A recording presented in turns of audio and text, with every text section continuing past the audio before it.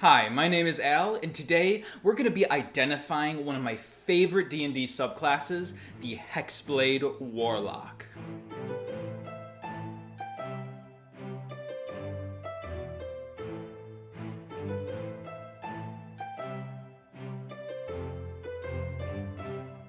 Okay, so I know the Hexblade Warlock has been out for a while, but it is one of my absolute favorite subclasses in Dungeons and Dragons. There is a lot to talk about here from the awesome flavor that it offers, as well as the a bit overpowered nature of the subclass. So what I'm going to do here today is I'm going to go through all of the subclasses for the Hexblade Warlock and give my opinions on them as someone who has not only played it multiple times as a player, but has also run for a Hexblade Warlock as a DM. So let's jump right into what are these Hexblade Warlocks about? Well, their patrons are entities from the Shadowfell that manifest in the form of sentient blades. In the book, there is also talk about the Raven Queen and her hand in the creation of these sentient weapons and how she uses them as tools to further her goals. And right off the bat, can we talk about how cool that flavor is? I am just imagining this order of warlocks who carry around these obsidian black blades and have their own agenda who serve the Raven Queen or some other entity from the Shadowfell. It's an incredibly cool flavor, if not just a little bit edgy. So let's jump right into the features here. At first level, when you pick your patron, you get an expanded Warlock spell list, which include the following spells. At first level spell slots, you have Shield and Wrathful Smite. Second level, Blur and Branding Smite. Third level, Blink and Elemental Weapon. Fourth level, Phantasmal Killer and Staggering Smite. Fifth level, Banishing Smite and Cone of Cold. It's obvious that this subclass is all about the Gish spell sword fantasy, and Banishing Smite and the other smites are perfect for fulfilling that fantasy. Though I do wish there was a little bit more utility on this list, taking up so many of these spells really sucks, especially since you're probably going to be taking the Invocation, which is Eldritch Smite, at later levels, it feels like a little bit of a waste having these added spells, though I understand why they're here. Also, at first level spell slots, you have Shield, which is really great at first level. However, every spell slot level that you increase as a Warlock, casting Shield is just gonna feel worse and worse. Because Shield is one of those spells that doesn't get better as you upcast it. So if you have fifth level spell slots as a warlock, then it's going to feel really bad if you waste one of them on a shield, which is a first level spell for everybody else. At first level, you also get Hexblade's Curse. As a bonus action, you can curse a creature that is within 30 feet of you for one minute. Though the curse ends early, if you die, the creature dies, or you are incapacitated.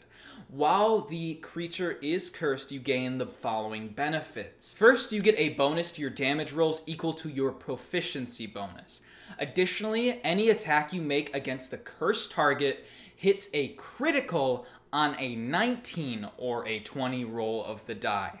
Additionally, when the cursed target dies, you gain a number of hit points equal to your warlock level, plus your charisma modifier. Once you use this feature, you can't do so again until you finish a short or a long rest. So this ability is actually really good. And even though the Hexblade is a Gish focused class, it doesn't have anything as part of this ability that requires you to make a melee attack. Sure, you're getting more hit points, that critical threat range is really great, especially when you get those Eldritch Smites later, and you are also dealing extra damage with your proficiency bonus, which makes you a little bit more viable in the mid to front lines.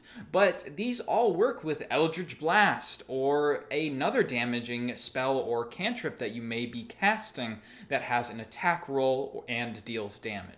Seeing this ability in practice, it is almost always best used for the biggest thing in the room.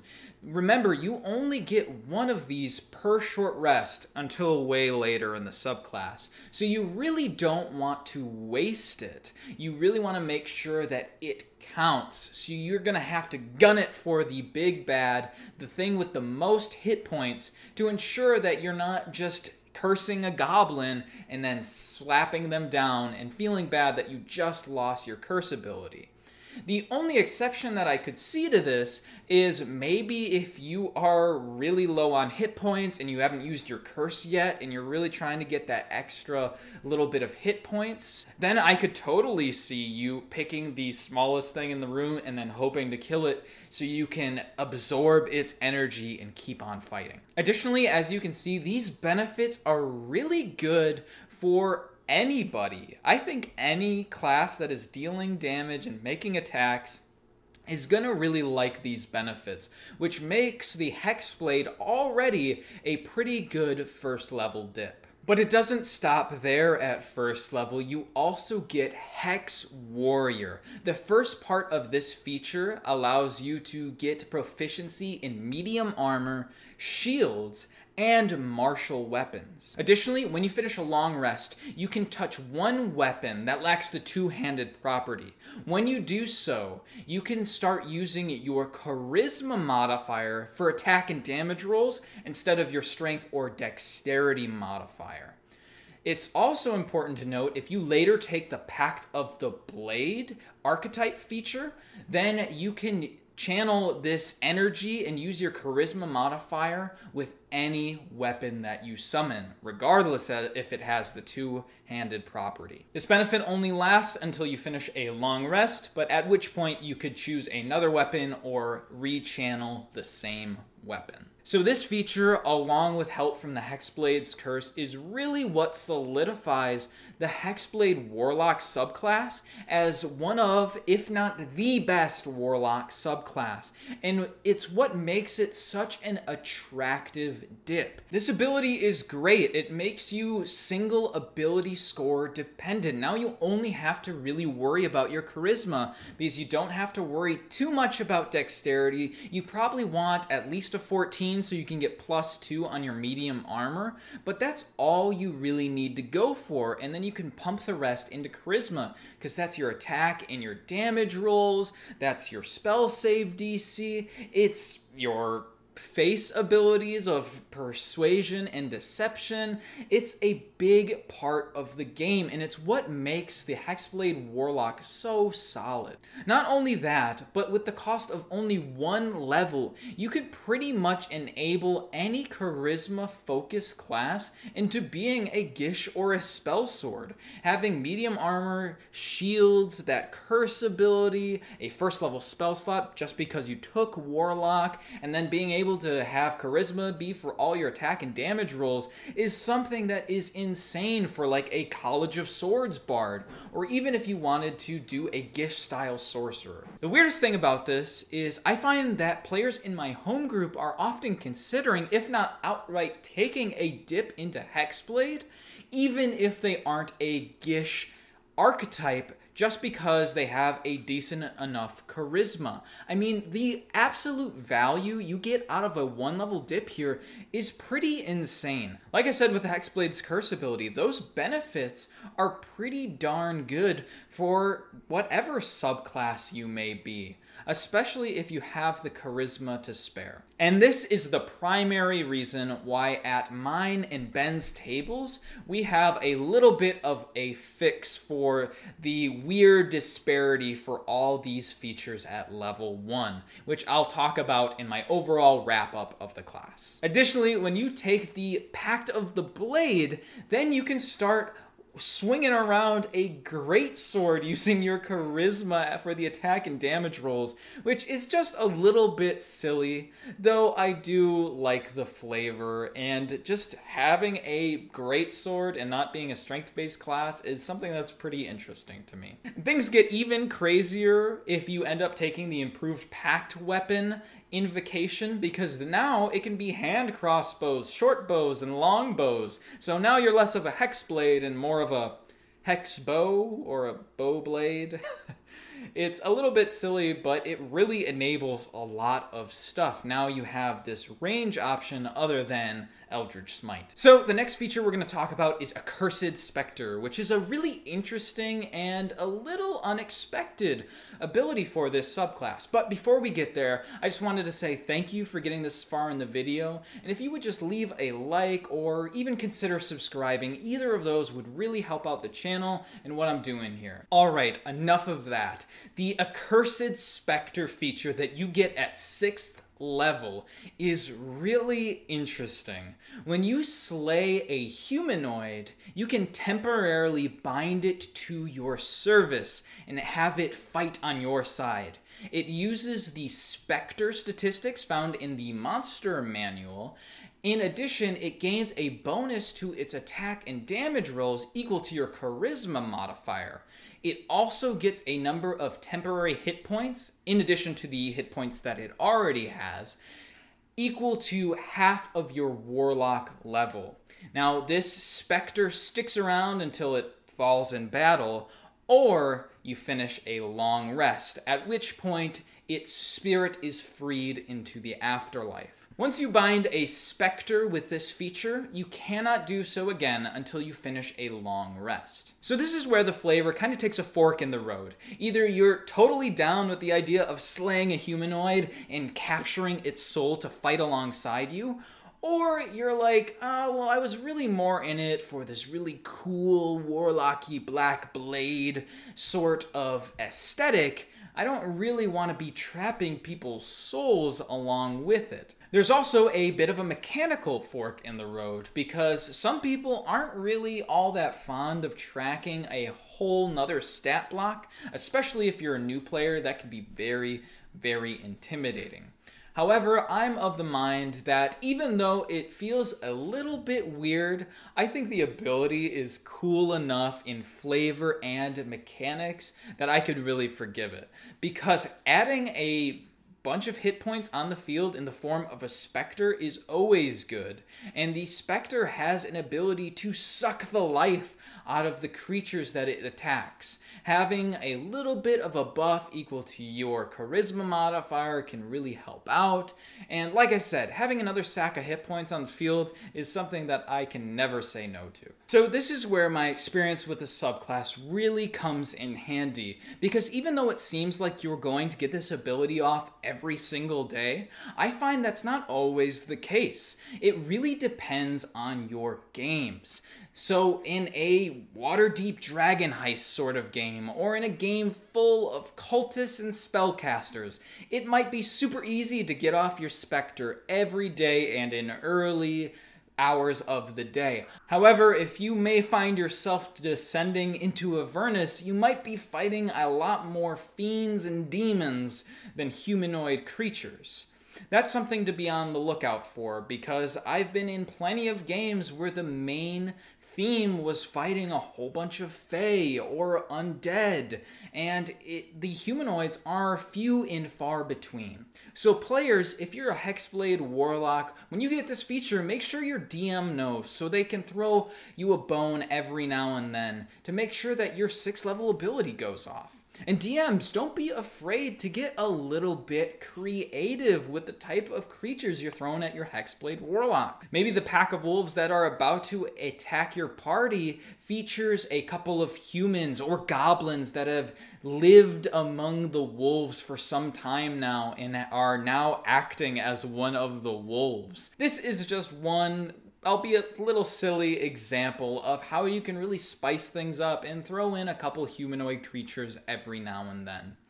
Humanoid is definitely not the least common type, but depending on your campaign, you might see less or more of them. Next at 10th level is Armor of Hexes. When the target of your Hexblade's curse attacks you, you can use your reaction to roll a d6. On a 4 or higher, the attack misses, no matter what they rolled. So this ability is really interesting. We don't see these types of roll a d6 and on a number or higher, the attack just blatantly miss, irrespective of what the enemy is doing. And we didn't see this before this subclass, and we don't see it a lot after this subclass as well. However, I think it's a very interesting ability. On a 4, 5, or 6, the creature just outright misses, which means that you have a near 50% chance, by using your reaction, of totally making the creature whiff. Not to mention, you declare this after the creature hits you. So you're not wasting it on a potential miss from the creature. The creature already hit you, but you're doing this last bit of effort to make sure the creature does not strike you. So this ability is very unique. We don't see a lot of it, but I do wish it was a little bit more inspired. The Accursed Spectre was really cool. And the Hexblade's Curse was awesome, and I like that it's synergizing with that earlier ability, but I do wish there was just a little bit more to it. Next, at 14th level, you get Master of Hexes, which means when a creature that was affected by your Hexblade's Curse dies, you can move that Hexblade's Curse to another creature that you can see within 30 feet of you. However, if you do so this way, you don't get those hit points regained from the normal Hexblade's Curse ability. So this is the ability that I have really been waiting for. Only having one Hexblade's Curse per short rest can really feel bad, especially even if you target the big bad and your team goes full Nova and outright destroys them, it can feel like your curse was wasted. So now having this recur ability is really nice, especially if you're already at max hit points and you don't really need the hit points anyway. Now, I do understand why you don't get the hit points if you're moving the hex, because at 14th level, theoretically, if you have a 20 charisma at this point, which is very viable, you are getting, what, 19 hit points regained on a successful death from your cursed target. So being able to bop that around with minions and just gaining all this hit points would be a little bit too powerful. Though I wish you got maybe half or a quarter of the normal one, or maybe just equal to your charisma modifier, just to give it a little extra something. Because just like the 10th level ability, I don't feel like this one's as inspired. Once again, I am super happy that it synergizes with that main curse ability, though I wish there was a little bit more space for the flavor of your really cool black blade or bow or whatever it is at this point. And I know that invocations are around to deal with that. I just wish there was something a little bit more special going on. Like, can you imagine if at this level you could expend a use of your Hexblade's curse to empower yourself? That might be an interesting ability. Now, instead of hurting another target, you're emboldening yourself to be more powerful and to further augment your swordsmanship prowess. So this class is absolutely bonkers. The power that is packed into those early levels and even later levels when you start thinking about those invocations is absolutely insane. And I know these spell sword type subclasses need a little extra help with armor proficiencies and making sure that they're not too multi ability score dependent. But the Hexblade just ramps that up a notch and makes it super useful to more than just the Warlock class all these dips really make it a problem for the game. And I really think that even in the era of Tasha's Cauldron of Everything, they are still struggling to publish Warlock subclasses that meet the power level of the Hexblade. Do I think that the Hexblade is the best subclass in the game? Not necessarily. There are some dedications that you really have to put into the subclass. Like, you really want Thirsting Blade and Improved Pact Weapon. Eventually, you're going to want Life Drinker, and that's really going to eat up your invocations. And that's something that's worth noting about this subclass. The further you go into being really awesome at your martial prowess, the worse you're going to be as a utility spellcaster. If you're using all your spell slots, dealing tons of damage with your Eldritch Smites, then you're not using those as utility spells with your higher level Warlock slots. Oftentimes, you're also missing out on those invocations that let you cast spells at will, like Disguise Self or Silent Image. These are the trade offs that you have to consider when you're building a Hexblade. Are you going to really go into being really awesome at the martial ability? Or are you going to really go and lean into some of that more versatility that spellcasting classes offer?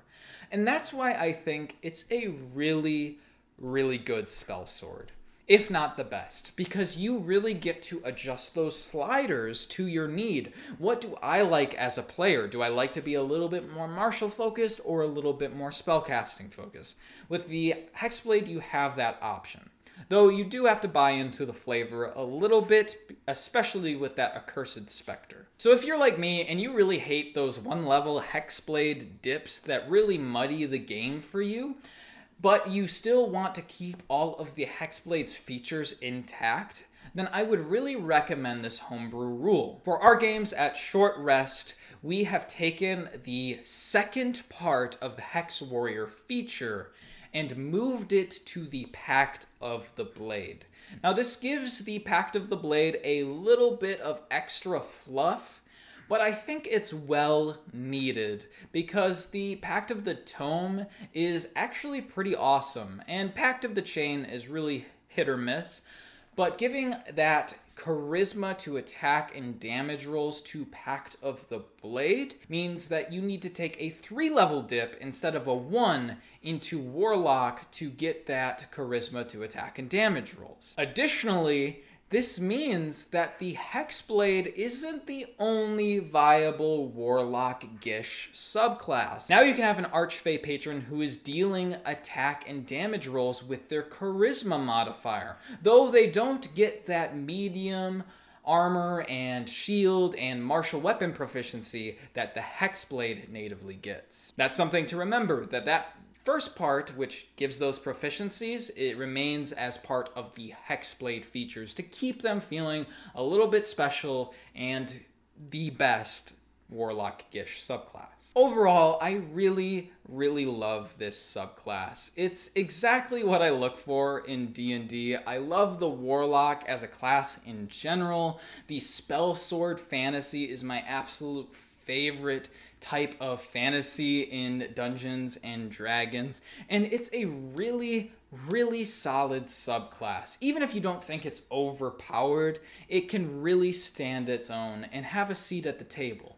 And for that reason, if I were to rank this subclass out of 5, I would give the Hexblade Warlock a 5 out of 5. What do you think? I really love this subclass and I would love to chat about it in the comments down below, even if you just want to share your different Hexblade builds or opinions on the subclass. Before I leave, I just want to thank our patrons for June. That's Faizan Ahmad, Painted Sky, and Robert Allen Klaus III. Thank you guys so much for supporting us on Patreon. Your support really does mean the world to us. And if you're watching and you want to add value to the channel yourself, you can follow the Patreon link in the description down below. We have a couple of benefits there, including an exclusive long rest podcast. Otherwise, thank you so much for watching, and we hope to see you on your next short rest.